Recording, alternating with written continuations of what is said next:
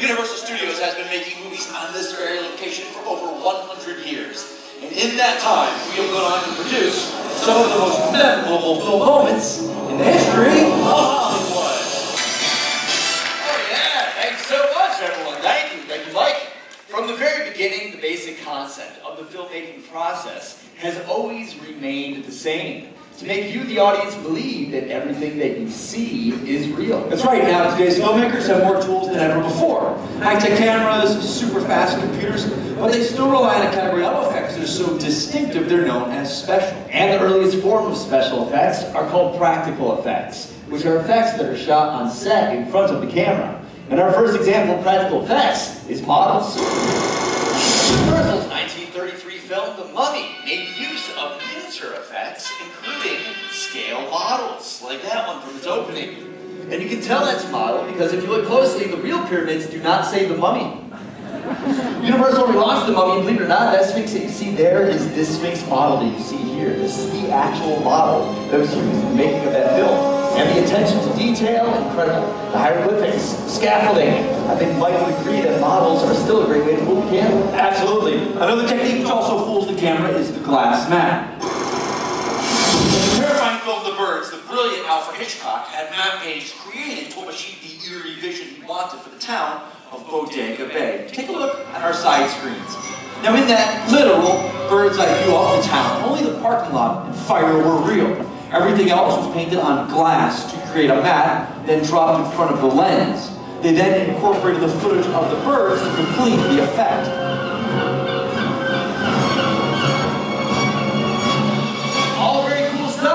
We showed two examples of practical effects. Models and the glass matte. Right, but there is another type of practical effect, and this one involves performers, not just props. Practical stunts.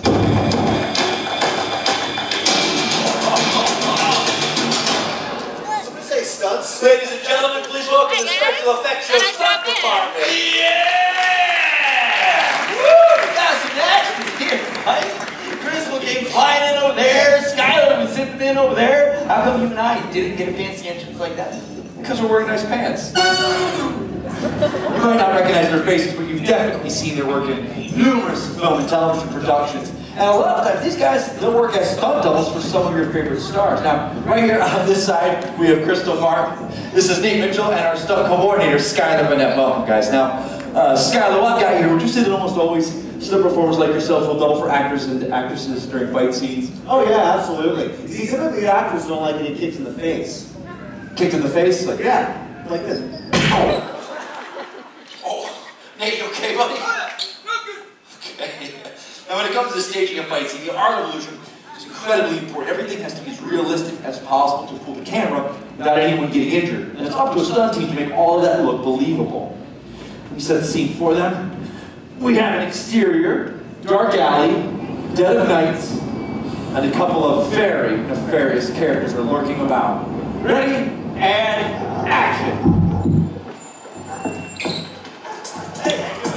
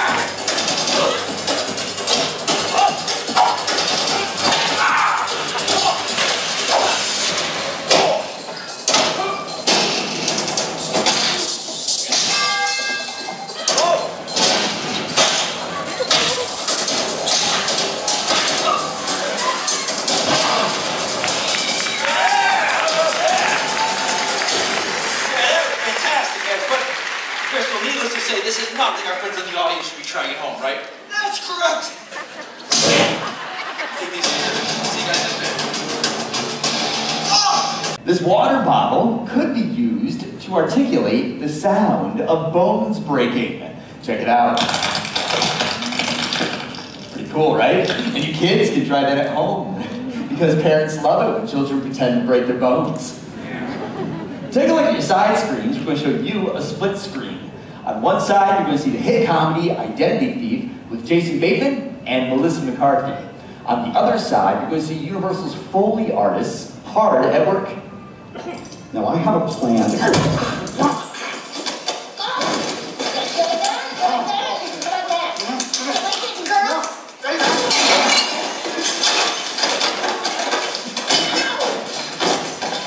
Oh yeah, that looks easy, right? We'll find out. That's a clip they are going to Foley. But first, let's talk about the tools that we have up here on the stage. Over here, we've got a crash box. It's a wooden box that's going to make the sound of crashes. We also have some sneakers. Those will sound like running. Over here, we've got two reams of paper and a cutting board. Those will sound like bodies are hitting the ground. Over here, we've got two boxing gloves. Those will sound like the punch in the throat and the slaps on the face. Then down here at the end, we've got a cowbell. This will be used for the moment where the panini maker hits Melissa McCarthy in the back of the shoulder. And then this is where we get crazy. Really use your imaginations here because these handcuffs are going to sound like handcuffs. A bit you. All right, to do this? You'll be watching this monitor over here. Let me make sure you can see that. All right, good for you guys? Awesome. If you guys are ready up in the booth, let's roll sound, speed, and action.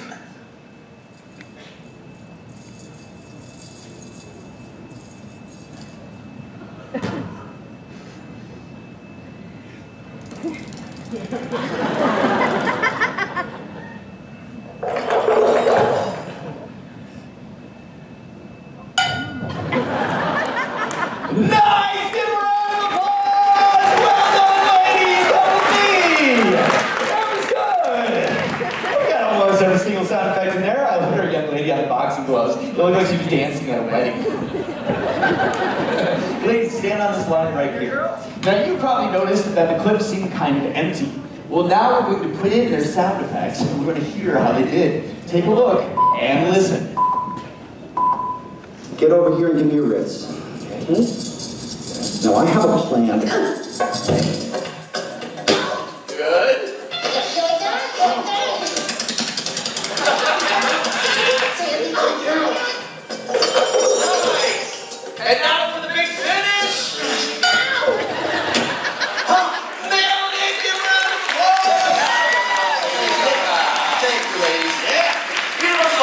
great films in every genre, but the studio has really made their mark over the decades by producing some of the industry's most memorable thriller and horror films. Monique. Now, Monique here was chosen because I was told it was a really good scream. So, Monique, let's say you're staying at the Bates Motel. Norman Bates jumps out at you with a giant knife. How would you scream? Okay. Scream, go for it. She would die hilariously. No, Monique, you can see the point here right now. Those stunt guys, they have an incredibly high pain threshold. The real question is, do you? Well, do you? I guess not. Let's do it back because our next demonstration involves movie blood. So, does anyone out in the audience know what Alfred Hitchcock used for blood in the film Psycho? Shout out! That's right, chocolate syrup. You win. Knowledge. That's right, chocolate syrup, because Psycho was black and white film, so it didn't matter what color the blood was back then. But nowadays, movie blood has to be much more realistic. So thank you for lending us a hand. Literally! Now, at this point in the show, I need to remind the kids, please, do not try this at home. Try it at a friend's house. Monique, can you want to handle the blood pain there for me, young lady? That's you? Okay. Yeah, what are you doing? You're not really going to use a machine on Monique. No, of course not. I'm going to use this on you. No, of course not. Monique, I'm going to use this much sharper knife right here. Everyone take a look at the side screens. Put your hand back there. And now you start screaming when you feel the pain. Ready? One, two, three.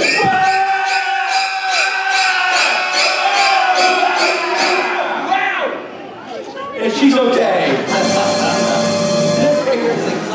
Cinematic horror technique called the Hollywood blood knife. This is a fake blade. The cutout gets over her arm, and in the handle we hide a pump and fill it with movie blood. Monique was amazing. Give her a round of applause. Monique, you're wonderful. You go ahead and take that off. I will take that for you. Hold on, hold on. You've been wonderful so far, and that is the good news. The bad news, Mike, I got that. What about hands? Right here? Yeah, yeah, yeah. No, no, just put- there you go. I gotta give you her phone. Thank you. And, uh, all right, Monique, let's get this coat off you here. Perfect. All right. Thank you. I'll, I'll just be right back. all right? Okay, now I did promise you a picture with the monsters because you were such a good sport. So do me a favor, stand right here. Let's get some lights on you. I'm gonna count to three. On three, give you a really good screen because that'll make a great picture. I'll get you back to your seat, okay? On three, ready, Monique? All right, here we go. All the lighting's perfect. Ready? One, two, three. Big screen.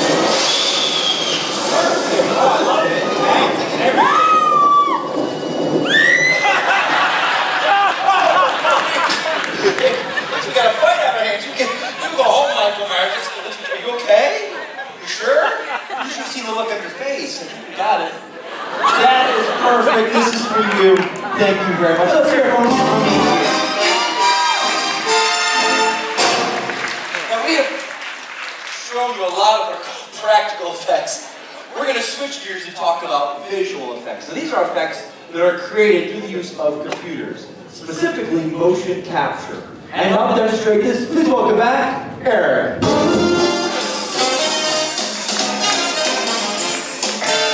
For those of you far away, I apologize. And for those of you nearby, you are welcome.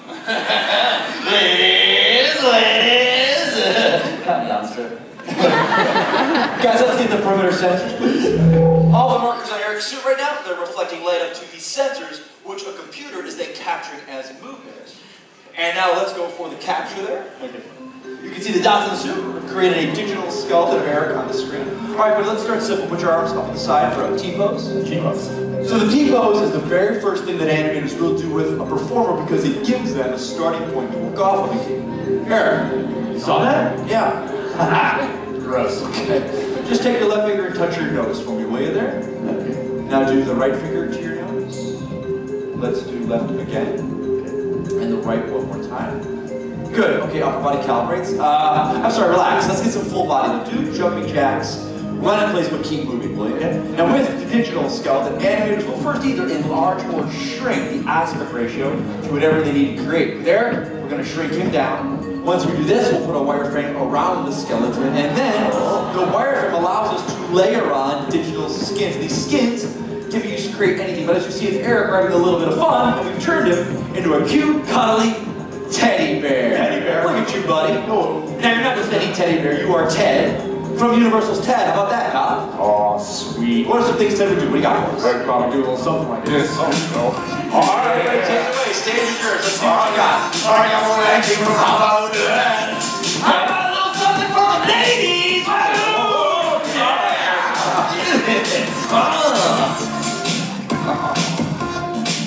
So, Ted, what do you think of the show so far? That's why I watch these things. It's like a cool behind the scenes thing you wouldn't know. Thunder Buddy's Ted. Thunder Buddies for life. Let's hear it for Ted, Eric, and Motion Capture. Now, here are some examples of fire stunts used in Universal films.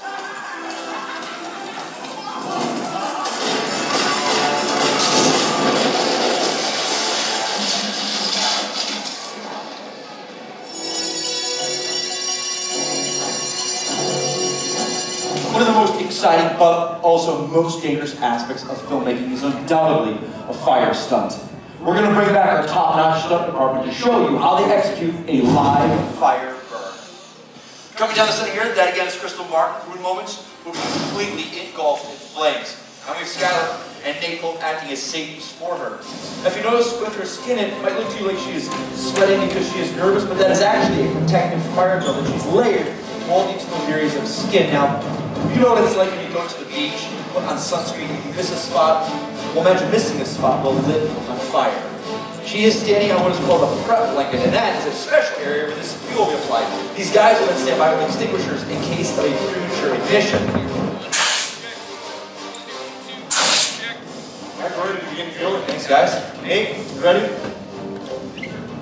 Fueling. At the completion, she then move to this fire blanket to wait to be put out. Now, at this point, we are looking for a thumbs up. Any reason that we see a thumbs down, that is our sign to call in a medical team to help. Ladies and gentlemen, I do need to stress that these are trained stunt professionals, and as you see right here, they are using specially designed equipment. Please, never attempt anything like this at home or on your own. Now for this stunt right here, Crystal will attempt to burn for anywhere of up to 10 seconds long. Guys, can you please dim the lights and set the clocks to zero?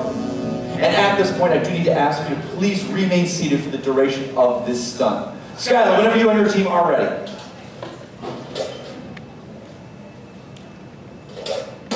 Hey, you ready? Ready? Crystal, you ready? Ready. Ready, and action! Fighting! You lit?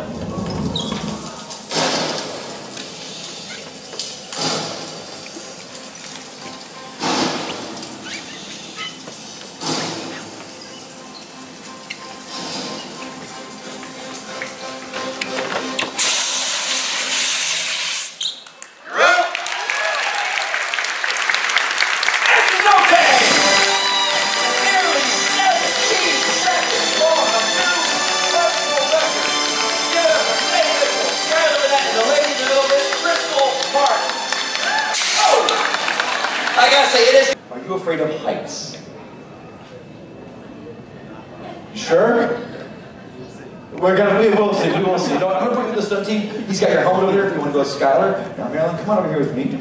Or your girlfriend. He says he loves you very, very much. Yes. I'm, I'm sorry, what was, what was that? Oh, and tomorrow he wants to take you shoe shopping on Rodeo Drive.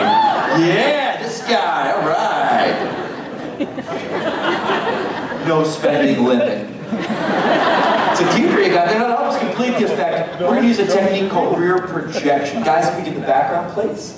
Excellent. Okay, Charlie, we're all set here, Marilyn, so I'm gonna hit a navel. Put your finger on that green bar, and let's take him up there. Now stop. Perfect. Let your hand off. Take your hand off. Very good. Okay. Oh, uh, now Charlie, you're have to let go of those cables because that will knock off the entire track. Just uh, put your chin up and your shoulders back without using the cables. There, there you go. Yeah. Now you look very natural. Now put your finger the purple, and let's take it forward slowly. There you go. Great. Now try to relax, Charlie. You're doing great. Now relax. That's very straight back. You're doing great. Is practice round, Marilyn. You're doing great. Okay, Charlie, buddy, take your hands off the cables, and there you go. Okay. Okay, now you, you kind of have like a dead fish thing going on here, so we're gonna work on it. So Marilyn, take the green. Take the green. Let's get it up in the air a little higher. A little slower. There you go. Good, good. Up higher. Perfect. There we go. We got you, buddy. Okay. Good. That's right. That's right. I got it. I to the purple and make a big circle. There you go. You're doing great, buddy. There we go. He's going over to Hogwarts, so let's keep him with the audience. There you go. Okay, now, now Charlie, think about being in outer space. Your favorite team. Yeah, you're doing great. This guy's having a little bit of a hard time, so I'm gonna get you. I got you.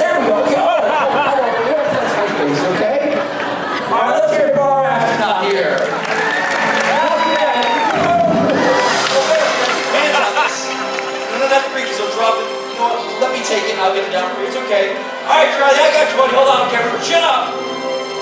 There you Yes, no, no, no. Shoulders back. Okay, Charlie, buddy, look, look, look. Shoulders, pal. You got it. He doesn't listen very well, does he? Okay, I think we have done enough for here, Marilyn. You figure wait right here for me. All right, Charlie, buddy. I hate to tell you this, but your girlfriend just tried to kill you. So you go give her a hug and remember the importance of forgiveness, okay? And as we said earlier today, the concept behind special effects is to make the audience believe that everything they're seeing is in fact real. Hi.